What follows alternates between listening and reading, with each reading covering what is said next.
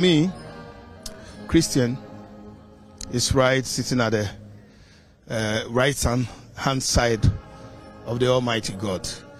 He he lived a very decent life. He was so humble, affable, loved by all. His generosity, I mean, a lot of people have said a lot about him. His Christian life oh, was so perfect. But this is how he ended his stay on earth. It just goes to say one thing that we don't know. Today, he has found his internal life. What about you, and I? Do you know how we are going to end our exit on earth? We don't know.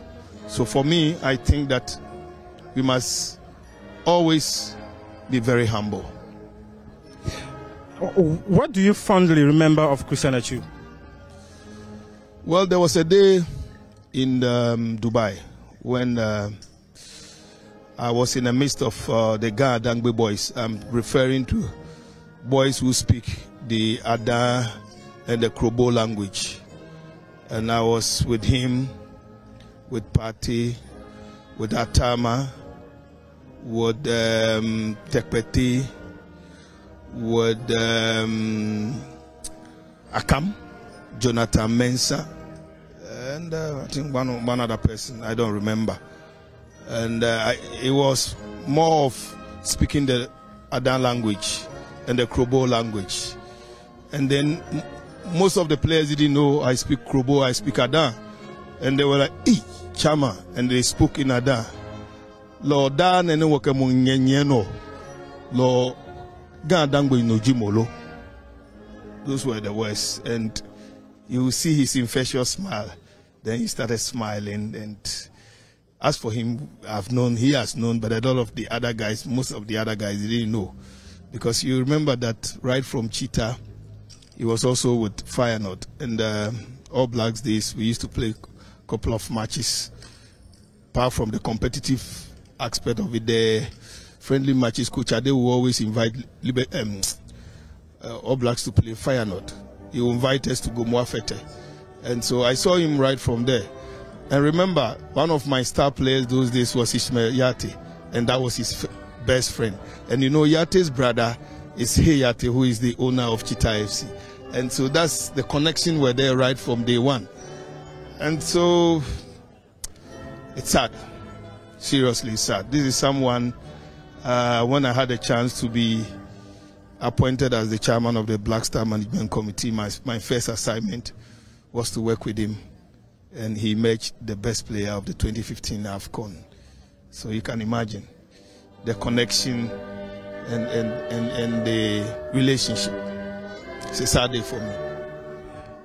You knew him beyond football because um, one of your brothers worked with Christian Atsu for like eight years, and a half as his agent. What does he often tell you about the kind of person Christian Atsu was? Uh, there's only one thing I always not forget. Tony will tell me that, hey, George, Atsu and his tight, he doesn't miss. I say, then I will say, ah, so pounds be brebeni now to me could mu ten percent. Then we will laugh. He say, hey, as for his calculation, he won't miss, and he will make sure that the ten percent is paid per what the Christian faith believe, and this this is so unique. For me, I don't think I have been able to do it, and I have forfeited several times. I owe God a lot, but I know that our star line here paid till the last day. What should we do to remember Christian Atsu? What should Ghana football, what should the state do to ensure that the memory of Christian Atsu is immortalized? Well, there are a lot, uh, number of things that can be done. I don't want to suggest. I believe that people who are in charge of the FA now, they made the executive council may have planned something, or the the executive council is planning something, and I know I don't need to take this team out of the win. I mean, with, when it comes to the states, I will not stand here to pretend I know more than the president of His Excellency Nana uh, Akufo-Addo, the president. Um, you know he's a football person. He loves football. And so I know, I have no doubt that he will definitely do something in remembrance of our fallen foreign hero. I, I, I have no doubt about that. What will get George Afriyie excited at the end of the funeral service of Christian Atsu? Well, I'm here to pay my last respect. Uh, people in football will definitely come here to pay their last respect. And I hope that I love the decision.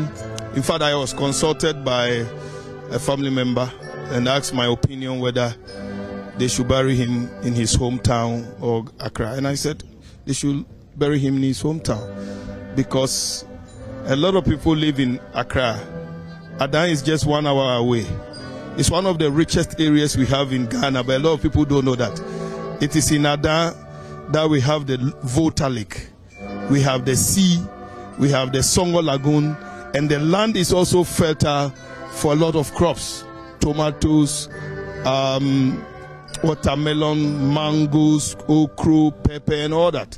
And so I said, let's take advantage. Atsu maybe wanted other people to know other part of Ghana, which is Ada.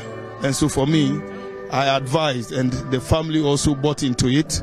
And together with Mr. Soti, the former controller and accountant general, uh, we felt that if this can be done, and government accepted it, the FA accepted it, family accepted it, so he will be laid to rest, and his place will be a museum for a lot of generations to come. Uncle George, thank you very much. We appreciate your time. Um, George Afriyie, one man who knows Christian Atsu very well. But